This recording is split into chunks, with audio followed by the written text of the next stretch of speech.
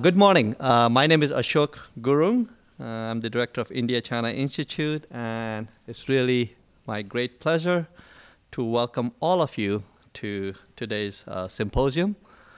special uh, warm welcome to all of you who traveled from faraway places India, China, uh, Hong Kong, uh, and other cities. it's really good to see most of you are old friends. There are a couple of new people here. So I just want to really uh, begin by telling you that how happy we are to reconnect. Uh, this particular uh, initiative, we call it India-China Conversations, uh, aimed at getting younger scholars, doesn't mean they are less smart than the established ones. In some cases, they are probably better. but the emphasis is on uh, people who are either in their advanced level of graduate work or people who have recently finished their PhD. So, so I don't want to offend our young scholars by suggesting the name. Uh, the uh, the uh, initiative basically uh, evolved uh, out of our experience at India China Institute, which began about eight years ago, where we uh, started uh, building the institute by gathering a group of scholars, uh, experts. These were a bit more uh, uh, established you know, scholars and experts. Uh, and what we learned through that experience is, yes, they do, you know, need support, and they do, you know, contribute a lot by coming together uh, in uh, various conversations.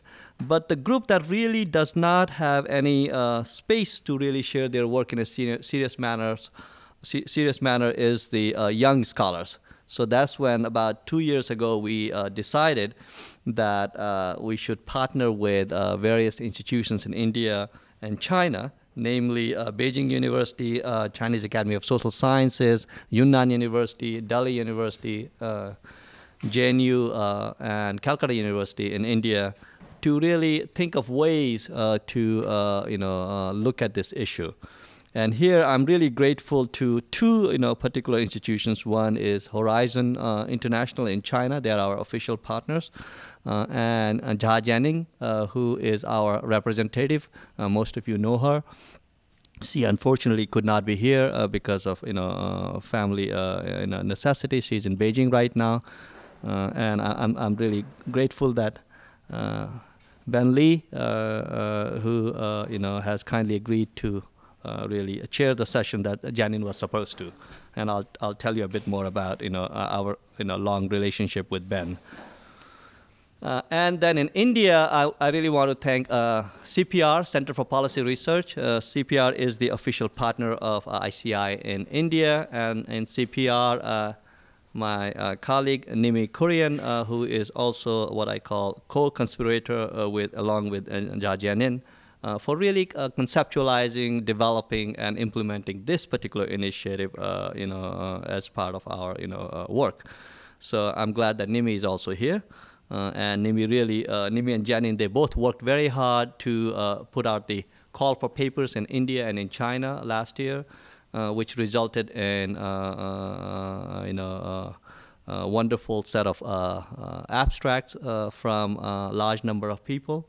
In India, it was actually quite huge. what is it? 70. Over 70 applications. In China, it was around 17 or so.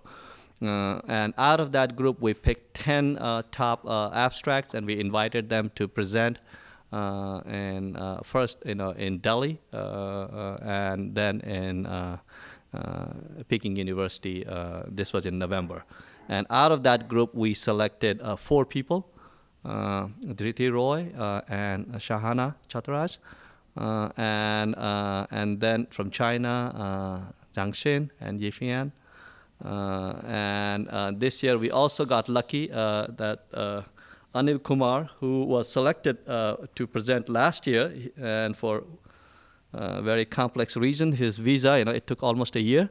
Uh, but he finally did get his visa, and he called us about two weeks ago that, oh, we, I have a visa. I finally got my visa. Can I come this year? I said, sure. Why not? You know? So th- for that reason, we have three you know, uh, young scholars from India and two from China. So again, uh, uh, so, so that's the background, and that's how you know this uh, particular uh, exercise uh, you know unfolded. Uh, and, uh, and, and, uh, and today we also are very fortunate to have uh, two colleagues, uh, uh, you know, one especially Professor Tansen Sen, who is again, you know, someone that who has been involved with ICI from the very start. Uh, Tansen is known to everyone. He is really someone, anyone, you know, who knows anything about India-China interaction. He's really at the forefront. So Tansen uh, is going to be here as a panelist. Uh, plus, uh, he's also going to be part of this uh, session, the second session, where uh, he, along with Professor Liu Jian, uh, they will be talking about the state of India-China studies, you know, both in China, and Tansen will talk about more, you know, not just focused on India, but also globally. Uh, in addition to uh, the two of them, uh, I'm really grateful that you know my uh, friend and uh, colleague, uh, Professor Lily Ling. Uh, she really uh, has helped us in many, many different ways and serving in many, many different capacities, uh, capacities as a fellow, as a faculty advisor, as really the lead person for India-China Institute's Ford Foundation project. So she's here. And we have Mark Frazier, who is our new, you know, co-academic director. Uh, he, uh, in fact, helped us out uh, to select the pool that we have, and most of you know him, so he's here. And Ben Lee, you know, just to give you a, you know, uh, before I turn it to Ben Lee, Ben Lee is really uh, uh, the founding, one of the founding directors of India-China Institute. It was Ben and Arjun Appadurai who was at that time the provost, and Ben was the dean of New School for Social Research. They really are the ones, you know, who have been, you know, cooking this idea of looking at India, China together for many, many years. You know, I hear these uh, tales that they actually talked about it even during their graduate studies when they were in Chicago. Uh, so, so Ben really uh, is a is a uh, you know uh, really someone that who understands uh, and you know what we are trying to you know accomplish, and he has been deeply engaged and supportive of our work. So I'm grateful that he has agreed, uh, you know, at the last minute uh, to really uh, take over the role of chairing the first session. basically, I think if you look at the uh, five uh, papers uh, that will be presented today, it again you know, speaks to the idea that we have. In order to understand India-China, we need, we need to have interdisciplinary approach. You know, you will really be you know, talking about or you'll be hearing about uh, the fifth century uh, you know, uh, interaction that starts with uh, Dhriti Roy's paper. And then it really covers a huge, you know, a range of, you know, you know, both time and space and topics ranging from urban issues, urban-rural divide, security, you know, dimension. so, so I think in, in in a way, what we have today, even you know, with the uh, you know small uh, group of papers uh, is a good mix of you know what the institute you know really uh, has been uh, working hard to build an interdisciplinary conversation. So, so, I'm really delighted that we could really bring these five wonderful you know uh, you know scholars uh, to share their work with us today. So on that note, uh, I will now hand over the session to Professor Ben Lee. Thank you. Yeah, thanks, Ashok. Uh, I just want to say it's a great honor to be here. I uh, just had a breakfast with Arjun uh, a couple days ago. We were talking about this event a little bit, and uh, he and I both expressed great satisfaction in seeing younger scholars represented finally. That was something that we always dreamed of because, as Ashok said, we, we started thinking about collaborations on India and China when we were graduate students, uh, and that's almost 40 years ago. So this has been quite a, quite a journey together. Um, I'm going to be very brief in introducing people because you have the write-ups here, and we're, we're um, uh, the less introduction we have, the more time we can have for the papers. Let me just explain the format. Uh, and uh, there are three papers in this morning's session uh, by Dhriti Roy, Anil Kumar, and uh, Xin. Um, and the commentators uh, for the first paper by Dhriti Roy will be uh, Tansen Sen, right? Is, is right there, and um, Anil Kumar's uh, commentator will be Mark Frazier, and uh, Xin's uh, commentator will be Lily. I guess the speakers will just come right up to the podium over here, uh, and uh, they'll each have about 15 minutes. We're going to do the three papers in a row, okay? Uh, then we're going to follow with the discussants, and then open it up for discussion. Each of the presenters will have about 15 minutes, and there'll be someone here in the front, right, uh, who will keep us on, on, on target. So I can appear to be a courteous commentator instead of a interventionist. Um, and uh, there are about five to seven minutes of comments, and then the open discussion, which will probably uh, end just a little bit after 11, uh, since we began a little bit late today. Um, all right. uh, Dhriti Roy is an assistant professor in the Department of Asian Languages at uh, Sikkim University, and um, she's been working on uh, uh, Chinese uh, Buddhist monastic traditions, and her paper, um, which I actually had a chance to read this morning, was quite interesting. I wasn't sure exactly how, because I read the other papers first, and I realized that having this historical depth is really quite fascinating. And, it, it's something, a, a, real privilege to, to, to uh, have also Tansen, uh, who's working in these areas, commenting. Uh, Anil Kumar is a PhD candidate at Delhi University. I'm just going to read this very quickly. Um, Xin is a faculty fellow at the School for Advanced International and Area Studies at uh, East China Normal University. Uh, Tansen is a uh, associate professor of Asian history at Baruch College. And Mark, of course, is the uh, uh, professor of politics at the New School for Social Research and academic co-director for the India-China Institute. And Lily is uh, an associate professor uh, in the newly named Studley Graduate Program in International Affairs, uh, based on a nice gift for that program that was given this year, right? It was given this year. So um, we have a nice representation, and I asked uh, Dhriti Roy to uh, come up and, and start us off, okay? Great, thanks a lot.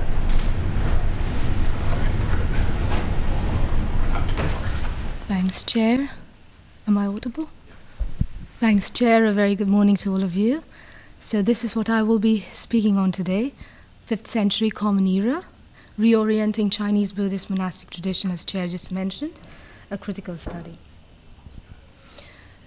So, I would like to say that this is just an ongoing study, and I'm not proposing any concrete conclusion. I'm still working on it, and I'm glad that Professor Tansen Sen is here to guide me through. The paper mainly proposes that 5th century Common Era was a critical juncture in the evolutionary history of Buddhist monasticism in China. The very fact that I see 5th century as a defining period, a very important, crucial period in this whole history of uh, Chinese Buddhism as it developed through centuries, and I believed that it witnessed the reorientation of Chinese Buddhist monasticism and gave a certain characteristic feature to monasticism in China in general. Now, why did we suddenly start looking at 5th century Common Era? This was because I was working for my PhD on uh, 5th century pilgrim monk scholar Faxian's itinerary, and there I found this passage which was very interesting. Now, so far we know Faxian was one of the earliest Chinese pilgrim monk scholars to have visited to India and to have left records of his travel through 30 different kingdoms across Central Asia, Northwest India, and also Sri Lanka and Java. So, most historians look at the itinerary as one of the earliest historical records. But what I would say is that there is more to this itinerary it speaks about a certain monastic culture that was prevalent in 5th century China. And if we look at it closely, we get to see how monasticism evolved through the centuries from the first through 5th and later and gave a certain shape to monasticism in China. So this is the Chinese passage. And the translation goes as while formerly Faxian was residing at Chang'an, he was quite regretted to see the deficient state of Vinaya, that is Buddhist monastic codes of discipline, And owing to this reason, along with other fellow monks, he traveled to India to procure authentic texts on Buddhist monastic disciplinary codes. Now, the point is, we find that Faxian and the rest of his companions were all monks. And for Buddhist monks, Vinaya is central to follow monastic monasticism in general. So then I started looking at the question as to what does this deficient state of Vinaya mean? Does it put to question the entire credibility of the monastic system that was operating in China in 5th century? Then we started looking at monasticism through the lens of Vinaya and also outside the lens of Vinaya, as was prevalent in the 1st to 5th century. Now, we are relying on textual sources, that is, uh, textual sources as uh, Chusan Sang Chi Chi and also Kao Seng Chuan. There we find that you have a number of missing links, and it's so difficult to recreate history when you have missing links. You don't know what the final picture, what the complete picture looks like. We also do not have archaeological discoveries that somehow testify to the presence of Buddhist monastic order between the first and the fifth century. So, all that we have gathered from these textual sources is that earliest Buddhist establishments were all scattered along the Silk Route, northern and southern parts of the Silk Route, at certain commercial centers, namely Pengcheng, Luoyang, Chang'an. And these were not really monastic communities, but rather small foreign settlements and headed by, you could say, non ethnically Chinese uh, family members who would just get together, somehow help in the dissemination of the earliest teachings of the Dharma among non Chinese as well as Chinese laymen. Now, we don't know what these earliest communities looked like, what their internal structure looked like, what the internal organization was like. We have no clue about that. We also come to know of certain rulers in northern China who were engaged in hybrid Buddha Taoist ceremonies in the presence of Buddhist clerics. Who these Buddhist clerics were, how would they sort of communicate with the, with the, with the aristocracy, we have no clue about that as well. We do come to uh, you know, know of certain terms related to monasticism, for instance, upasaka and shramana, as you can see, in certain secular literature. Again, we don't know what, in what capacity did these upasakas and shramanas uh, worked. There were intensive translation activities reported by these Buddhist masters of Chinese and non Chinese origin. That is, these communities would disseminate simple teachings of the Buddha, simple teachings of the Dharma, among non Chinese people as well as Chinese people. The content would vary, very elementary teachings to very complex teachings. They were diverse in nature, in the beginning, in the early phases, you would find that they would try to somehow assimilate Buddhist teachings into the already existing Taoist um, yoga exercises, meditation practices, breathing exercises. That's how it was introduced.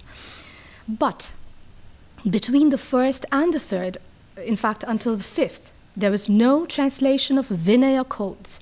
No Vinaya codes, no Buddhist monastic, you know, uh, codes of discipline were translated. So we could say that there was a kind of scholastic approach in monastic institutions. They were not too much into practicing monasticism, but more into studying the scriptures. That's how it appears to me. A few of the monks who were mentioned, as you can see, were one mentioned in Suishu, one was the feudal prince Liu Chun, a woman named ah Apan. These are all fragmentary information that we have. Now, between the third and the late fourth, we find partial fragmentary codes of Vinaya, which were somehow circulating all across northern China. They were somehow based on Pratimoksha and Karmavachana sections of the Vinaya. Now, these are the core sections of a full Vinaya text. A full Vinaya text is more complex, but these are the basic precepts that a Buddhist monk should follow or a nun should follow. So, these were some of the fragmentary versions that were circulating. Most interestingly, these were not copied. The Indian Indian system was not copied verbatim. It was somehow adapted and assimilated to fit into the requirements of the Chinese people. And the person who was involved in doing this was Shi Tao An. He belonged to the fourth century, and he brought out his own formulated monastic rules so, what we can, uh, as an overview, could say that between the first and the fifth, what we could call monasticism, it was emerging from nascent stage to maturity, the codes that were available were quite elementary, and they were not really uh, talking much upon the institutional lives of monks. And they were not, the monks were not obliged to adhere to strict codes of discipline. And as I said, scholastic studies were predominant. Now, what happens in the fifth century is we have a very interesting intellectual, socio political backdrop being created. And this is what happens. There is a highly volatile political situation because the whole of North China gets divided. So there is northern China and southern China, where northern China is occupied by non Chinese ethnical group of people, rulers, and South China is being ruled by certain, you know, the real ethnically Chinese people. So there is a great divide. In the South, we find that the, the common Chinese people, they have lost faith in Confucianism. There is a kind of vacuum created, and that's why they indulge in what you call an emerging xuan xue, dark learning. This is the time when Northern Buddhists somehow combine their forces with the Southern Chinese rulers, aristocracy, and intelligentsia. So this is the time when Chinese intelligentsia get involved in the study of Chinese Buddhism. I mean, Buddhism, in fact. And that is how Chinese Buddhism emerges out of discussions. Now, Vinaya also reaches an optimum level of sophistication because you have four complete Vinayas from India at this point of time being translated. You have sufficient commentaries being written on Vinaya. So somehow you could say emergence of Vinaya masters, Vinaya commentaries, it all institutionalizes monasticism in China very strongly during 5th century. You also have the westward sojourner Faxian and the rest of his companions. Faxian composes certain, you know, his itinerary as well as translates certain documents there, certain, certain scriptures, which gives rise to, as I say, rise of the Bodhisattva cult, the Manjushri cult, Maitreya prophecies there, rise of apologetic literature. All this somehow grounds the foreign religion very, very strongly on the foreign soil of China. So as you can see, um, to sum up, we could say that institutionalization of Buddhist monastic order, institutionalization of Vinaya, emergence of Vinaya masters, all these were events that happened only in the fifth century. And the impact it had was, as you can see, popularization of relic veneration cult. This emerged out of Faxian's composition of uh, his uh, itinerary, where he mentions at length about how the aristocracy was involved in venerating Buddha's relics and how the spatial and temporal gap, as Professor Sen mentions, was bridged. Uh, so this is what uh, this means. And then we have Manjushri cult, where we, this was also popularized, as you can see, by Faxian's translation of the Mahaparinirvana Sutra and by his collaborator, also Buddhabhadra, where Ma Mount Wutaishan in China was regarded as Manjushri's abode. So what we want to say is that so far, until 5th century, Chinese monks were looking at India as being the fountainhead of Buddhism. But this paradigm, there was a paradigm shift. Somehow people were looking now, even Indians, at China as being the legitimate center of Buddhism somehow. And they were having pilgrimages from India to China, from Korea and Japan to China. So China was becoming more the center of Buddhism. So Chinese Vinaya was walking its own path. This is very important uh, point that in India we find different schools of Buddhism have emerged out of different interpretations of the Vinaya. But in China there is one united system that bases itself upon heterogeneous forms of Vinaya. And then it has been worked upon by the Vinaya teachers, Vinaya masters, and then you have a regular Vinaya tradition, Liu tradition, Liu school. And that is the path which Chinese Buddhism takes the relic veneration cult, also as I've mentioned before, makes a claim that, Buddha, that China is no longer a periphery, no longer a borderland, but a legitimate realm. Manjushri cult, as we have mentioned, there is less dependence on India for intellectual and material inputs. Maitreya cult, with the emergence of Maitreya, now during the 5th century, Maitreya, who was a bodhisattva and was supposed to emerge from his abode at some point of time, emerged as a messianic figure in 5th century. So rulers started legitimizing their rule, saying, I am the Maitreya.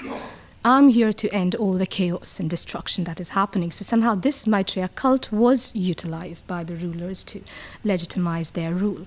In the concluding remarks, as you can say, institutionalization of monasticism, there was a new social order because between the first and the fifth, Buddhism was fighting to have its place against Confucianism.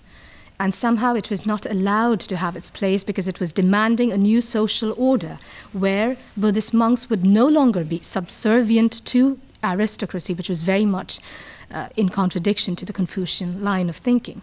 There was also the institutionalization of Vinaya, rise of gentry Buddhism, that is when the involvement of the Chinese intelligentsia happened rise of apologetic literature where people write and defend the cause of Buddhism, popularization of the relic veneration cult and the Manjushri cult. So that is all I had to share. Thank you so much.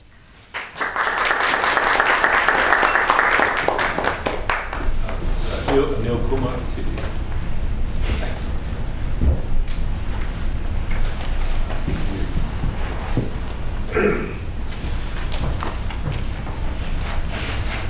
Thank you, Chair. Uh, I just have a, I'm just going to give you a synoptic view of my uh, presentation. I don't have any PowerPoint, PowerPoint presentation, so please for, uh, forgive me for that. And also keep in mind, I just came to know of this, uh, that I will be invited here just two weeks uh, ago. So if I sound a little bit ill-prepared, please uh, forgive, forgive me for that.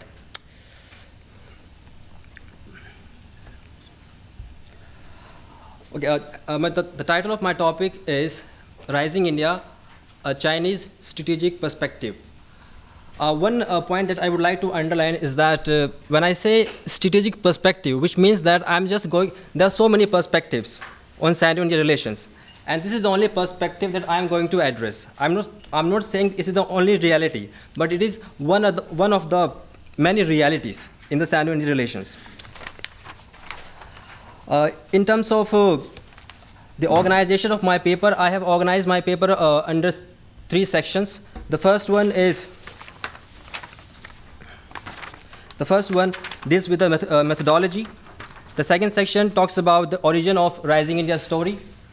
The third one uh, explains the Chinese perception of uh, Rising India in terms of what are the in terms of the drivers then the uh, fourth section talks about why there is a, a, shift in Chinese perception of India. And in that section, I deal with the, the, the, the, the challenges that, are, that rising India poses to China. In the fifth section, I deal with the India's re-emergence as a strategic rival to China. And in the uh, last section, I will be talking about what is the Chinese response strategy to deal with uh, quote unquote rising India?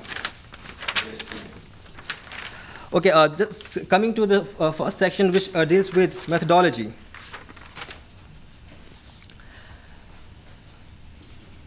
Uh, in terms of methodology, uh,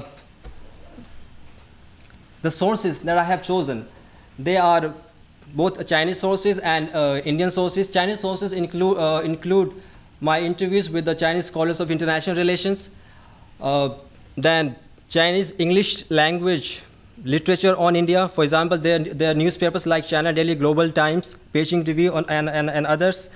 And uh, also publications from the Chinese uh, defense uh, think tanks, for example, CSIR, uh, CIIS, and so on. Sorry, sorry. Okay. Okay. okay. Uh, and uh, on Indian side, the same approach. I've tried to conduct interviews with the academicians, mm, uh, defense personnel, and also uh, uh, public po uh, po policy makers. In terms of the conceptual framework that I have chosen for Sino-Indian relations is realism because uh, my argument is that uh, the period that I have chosen, which is late 90s onwards, so in that period, there is both cooperation as well as what I call deepening strategic mistrust between Sino-Indian relations. And uh, so both things, both the things are happening together. And uh, for example, in terms of uh, cooperation, we have a, uh, we are, uh, there's a huge amount of institutionalized cooperation between India and China in the last 10 years or so. For example, we are cooperating under uh, BRICS, IBSA, SAARC, SCO, East Asia Summit. Uh, we also held our first strategic economic dialogue in September 2011 in Beijing. Then we, uh, India-China coordinated their positions at the Copenhagen Summit in 2009. Doha round of WTO, we held the same position. Uh, and also our trade is all-time high at around 70, around 74 billion dollars as on uh, last uh, 2011. However, the cooperation between India and China is fragile, uh, in the sense that there's a uh, deep strategic mistrust which has further intensified over the last uh, 10, 14 years. For example, if you see India and China, their relations provide a classic case of, uh, of realist explanation in the sense that uh, look at their geography, their size, their ambitions. So, for example, uh, John Garver's book, Protract, Protracted Contest, Sino-Indian rivalry in the 20th century. It talks about this, the, the, the, strong realist case in Sino-Indian relations. And what has happened in the last 10, 12 years is that this strategic uh, argument or case has become more st stronger uh, in the light of two developments, two concurrent developments. The first is at the unit level, meaning the simultaneous rise of China and India's economies have left them intruding into each other's backyard, if you like. For example, China has to source its hydrocarbons and minerals from the Persian Gulf, Africa, and the Indian Ocean. In 2008, its navy, for the first time since the Ming Dynasty, entered into the South China, into the uh, Indian Ocean to protect its economic interests. Similarly, uh, not similarly, recently, it has also secured operational control of Gwadar port in the Arabian Sea. Similarly, in, in uh, India's ONGC is uh, doing joint exploration in the, in, the, in the South China Sea along with Vietnam. And Indian Naval Chief D.K. Joshi has gone on record saying that Indian Navy is prepared to move into South China Sea to protect India's economic interests. So uh, this is what uh, this is this other uh, unit level. Now at the systemic level, what is what what has happened in the last uh, 10, 12 years, which is that Rising India story is taking place in the context of a phenomenon which the realists characterize as power transition not happen, that is not happened since 1945. The reigning hegemon, the United States, is on the decline, while a rapidly growing China both has intentions and capability to uh, emerge as the next uh, hegemon. In such a strategic environment, rising India, given its resources, potential, uh, is ideally suited for the US to court not surprisingly, India has been described as the quote-unquote linchpin in the US pivot to Asia strategy unveiled in Jan 2012 by Washington. So given the predominant, uh, given the dominant presence of balance of power politics at the systemic level and competition at the unit level, means state level, uh, uh, the analysis of rising India story from the Chinese perspective is made using realism as a conceptual tool. Uh, in terms of uh, origin of rising India story, okay, from the whatever literature that I have, uh, I have uh, surveyed uh, on the Chinese side, I have found that they are that the the year that they are they try to trace rising India story is 1998. They say that post 1998, India's national power, in the sense, its um, its economic power political power, diplomatic power, yeah, I will stick to that line, uh, has started growing. And also India's uh, uh, soft power has also started moving since the late 1990s. So post 1998 is the watershed uh, year in terms of India story being uh, seen by the Chinese strategic community. Uh, the next section, which deals with the the Chinese perception of rising India? Well, as a, as a, as a observer of Sino-Indian relations, the, the, the, Chinese perception of India has come full circle in the sense that it started off treating India as a, as a peer competitor in the early uh, 50s and in the for late 40s and 50s. Then it started writing off India as a strategic rival because uh, it defeated India in 1962. Then China entered into the uh, superpower rivalry with the Nixon visit to the United States in the July 1972. But again, if you see the last uh, 10, 12 years, India has again started emerging on their strategic radar. So this is what I mean by when I say that Chinese perception of rising India has come full circle. So same things are happening, the things that, that were taking place uh, in the late 40s and early 50s. Okay, why, why this shift in Chinese uh, strategic perception? Again, based on my literature of the Chinese uh, scholars on India, I found that there are uh, four drivers that are leading to this uh, rising India story from the Chinese strategic perspective. The first is the in India's military rise. India's military rise. Mm, I, I, have given all the details in my paper because I have paucity of time, so I can't. Uh, I'm just giving you the, the main points. The first uh, driver is India's military rise. The second is what I call India's omnidirectional diplomacy. Omni, I mean multi, uh, multi-aligned or poly-aligned, or you, you or can also choose uh, the, the same, I mean different phrases. And in this uh, diplomacy, there are basically two uh, two developments that uh, that are making Chinese uh, seeing India differently. One is India-U.S. relations, and second is India's Look East policy. The the third driver is India's uh, economic emerging uh, economic clout. The fourth section is also uh, India's soft power. I have given the details of of all these uh, headings in my paper. In terms of uh, India's re-emergence as a strategic rival to China, what are the challenges that, that rising India poses to China? Again, all these, uh, for example, India's uh, military uh, rise is uh, is posing a challenge to China because now India has started moving into South China Sea. The Chinese are developing this question, is India a Pacific power? Because pre-1998, India used to be South Asia bound. But since the late 90s, they have Indians, uh, Indian Navy especially has started moving into the uh, South China Sea and further uh, beyond. So uh, so this uh, India is beginning is beginning to be seen as a Pacific Pacific power by the Chinese strategists. The uh, the next is diplomatic challenge. Diplomatic challenge in the sense, sense that India has started joining uh, important East Asian institutions. For example, East Asia Summit. Uh, we are also what the Chinese call axis of democracies. India's relations with all the Pacific democracies: Japan, South Korea, Australia. And also, though Vietnam is not a democracy, but are, our relationship with the Vietnam are also uh, troubling the, the Chinese.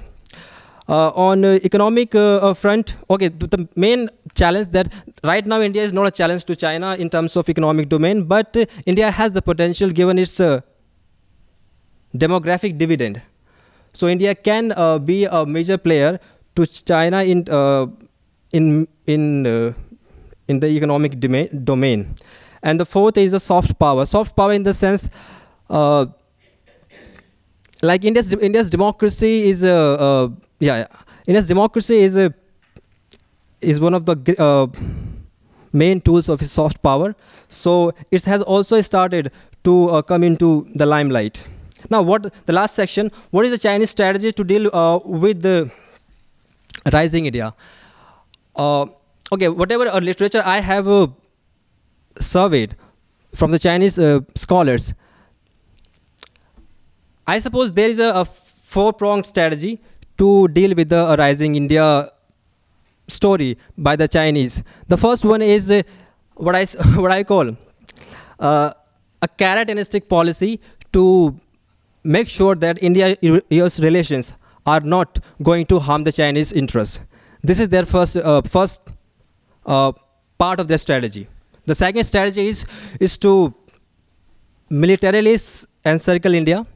For example, this uh, string of pearls strategy, and there the, the infrastructure in the Tibetan area and all that. The, th the third is to uh, strengthen relations with Pakistan, which is India's Achilles heel.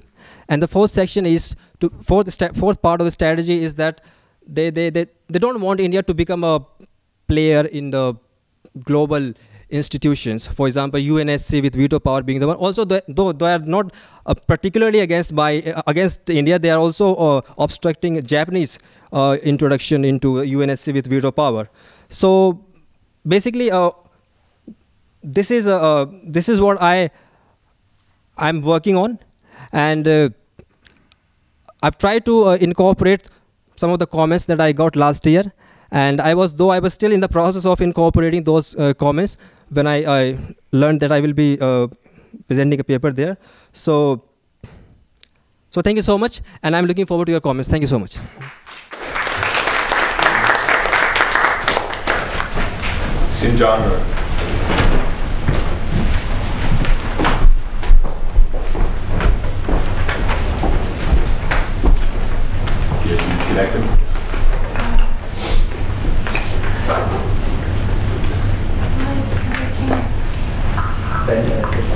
Xinjiang one thing that I just wanted to mention, recognize that uh, we have someone very special. Uh, Tuding Nima uh, is an old friend. Uh, he's really uh, uh, one of the most respected uh, Rinpoches from Nyingma sect. But I think more importantly, he's really a scholar. So for Dhriti Roy, I think at some point today during lunch or you know you should really get to know him. He, he can also give you a lot of you know helpful uh, you know, input. So I just wanted to mention that you know, he's here. He has been a, a great friend of India China Institute. So. Uh, thank you all for coming. Um, I'm from East China Normal University. Uh, what I'm going to present today is actually part of my um, uh, post-dissertation new research project on comparative state capitalism among uh, the um, major emerging economies in the post-Cold War period. So um, in this particular paper, um, it's uh, uh, the, the, paper compares um, the um, uh, domestic uh, internal governance structures of major Chinese and Indian national oil companies in their overseas expansion strategy. But I have some something uh, broader to um, to say in my uh, ongoing research project. So a little bit background of this this project. It, intends to build on um, the variety of capitalism literature in um, political sociology and uh, uh, uh, political, political science. Um, and I try to try to argue that um, among these major uh, emerging economies, for example, China, Russia, uh, India, as the main uh, examples, we begin to see a um, a set of institutional complementarities in the domestic national economies in these countries, uh, where we begin to see the emergence of a set of internally consistent, externally distinct system of national uh, political economy. And we might call these um, systems multiple equilibrium. Um, just as we see in the um, similar uh, varieties of, of capitalism among de uh, developed, de developed democracy and the market, uh, mature market economies. Um, so in my research project, I tried to look at, uh, again, the, the do domestic uh, governance structure of uh, state and capital relations and how these uh, capital uh, state relations are replicated in the national economy's overseas expansion through the investment strategy of major sovereign actors. And national oil companies are one uh, primary example of such sovereign actors. So in a nutshell, um, the overall analytical framework uh, of this, this broader project uh, is illustrated in this uh, graph. So the causal chain runs from um, a set of features, key features of national political economy, um, to the uh, internal or domestic corporate governance structure uh, of national oil companies, and finally runs to the uh, performance of these national oil companies' global expansion. So that's the, the overall analytical framework. Now, before I move on to um, to the analysis, let me show you the, the basic information of the, the targets of my analysis in this particular paper. These are the uh, major national oil company or national energy companies I'm going to examine in my research. Um, uh, it just happens uh, for each country, uh, for various reasons, uh, three uh, uh, companies emerge as the logical um, objects of analysis. In China, some of you might be very familiar with, among the audience, the, the CNPC, Sinopec, and the CNOOC are the, undoubtedly the, the three so-called national oil companies in China. In India, the top three select are the ONGC, GAIL, and IOC. Um, some basic information listed uh, what kind of uh, major products they um, uh, engaged in, whether they are vertically integrated oil companies or not, and uh, how much uh, official state ownership are there in each company. Um, so um, now let, let me start from, from China. Uh, the industrial sector in China uh, experienced some uh, uh, fairly significant uh, transformation since the end of 1970s. Um, in, during the 80s, roughly speaking, during the 80s, the overall trend is the retreat of state from the industrial sector uh, with a large scale of, of de facto privatization, uh, reorganization or de facto privatization, large scale layoff of uh, former uh, SOE workers, and the increasing significance of uh, small and medium uh, sized Uh, firms in the urban sector, uh, as well as increasing penetration of foreign capitals. But since the mid 1990s, uh, particularly after the 1997 1998 uh, financial uh, crisis in Asia, uh, the central state uh, has ra radically shifted the, their um, general attitudes towards industrial sector. So we begin to see a strategy that the state is trying to establish an industrial sector by controlling, increasingly control the um, large share of the strategic sectors uh, and the, the, the, list of strategic sectors actually have been expanding over time. And also for these strategic uh, sectors, the, the central government generally tried to create a set of so-called national uh, champions um, by directly supporting or establishing roughly three to six so-called national champions in each of these uh, uh, industrial sectors.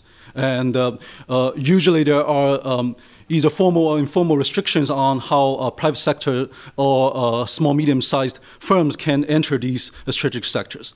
Uh, but meanwhile, there's a, a, clear uh, oligopolistic competitions among these, among these um, uh, well-established national champions. So such a strategy is also clearly reflected in what we see um, in the uh, oil and gas energy sector.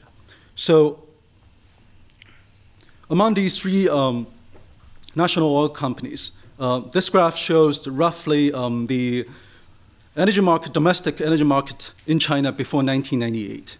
So you can see there, are, there were actually clear division of labor among these three uh, national oil companies, both in terms of downstream, upstream, uh, the degree of vertical integration on one hand, and uh, offshore and uh, uh, onshore business on the other hand.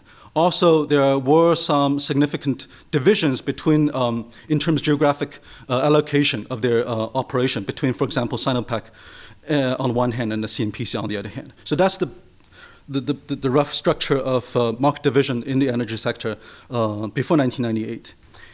And alongside with the general trend of uh, uh, industrial integration and uh, consolidation, as, as, I just mentioned, uh, in, in, the overall Chinese uh, industrial sector, after 1998, um, the, the Chinese state uh, radically shifted the, the, the, the internal structure, market structure of the energy sector. Now, what we see since 1998 is what the arrows in the picture describes. So, roughly speaking, all these three firms are being transformed into both vertically and uh, uh, horizontally integrated uh, oil gi giants.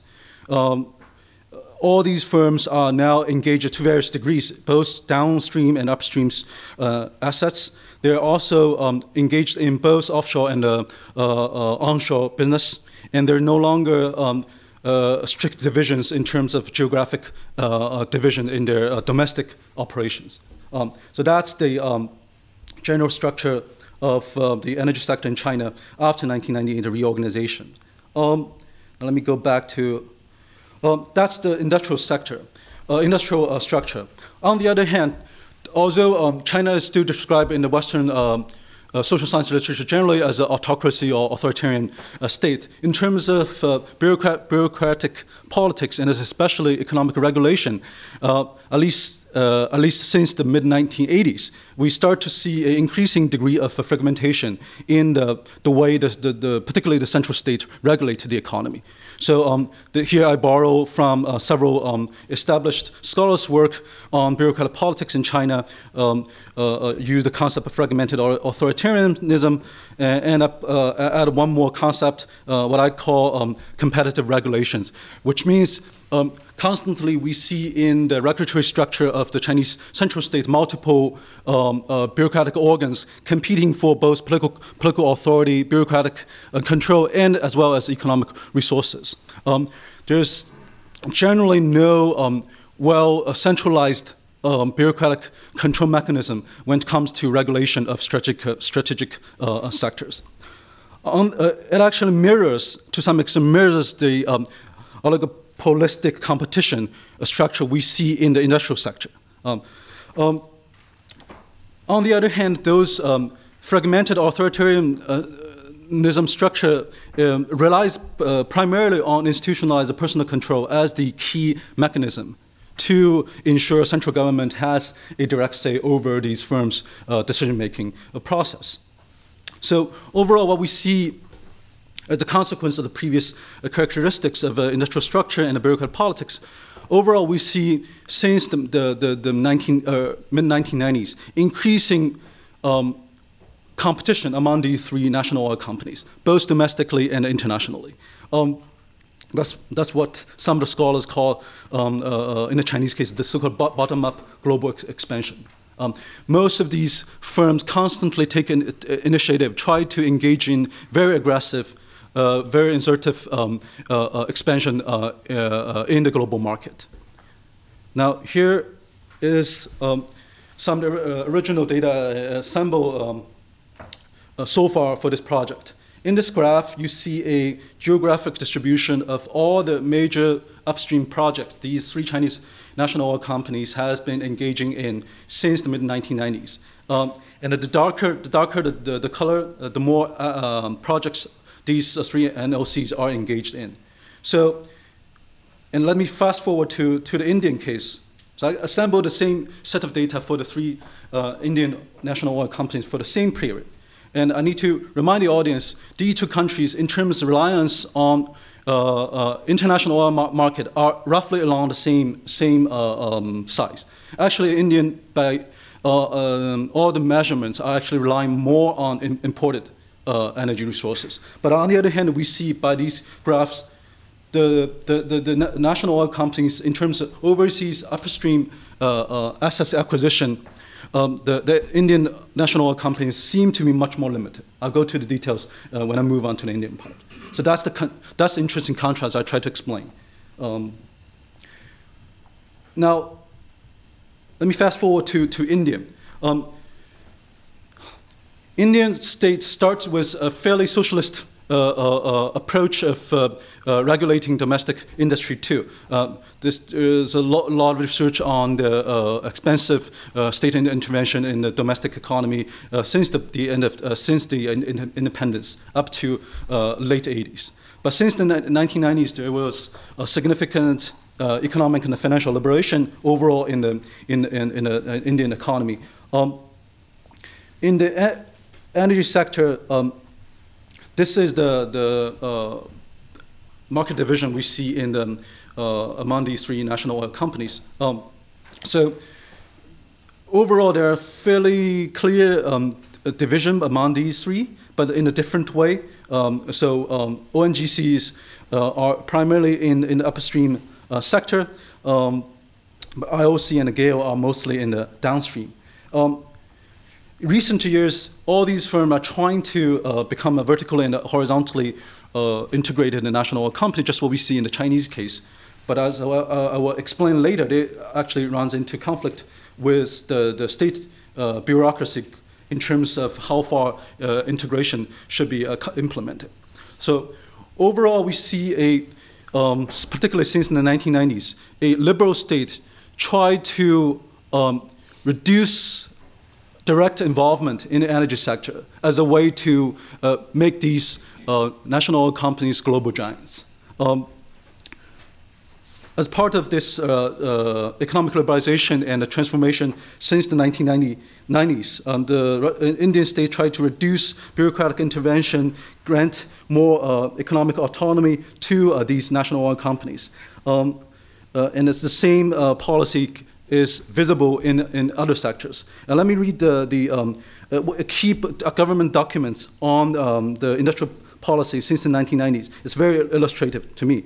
And the, the, title is Turning Selected Public Sector Enterprises into Global Giants. And the subtitle is Grant, grant of Autonomy. So the way the state tried to help these firms is grant more liberty, give them more freedom in terms of both domestic and uh, overseas uh, uh, uh, investment. On the other hand, there is no, very little direct financial support to these NOCs, unlike the Chinese state.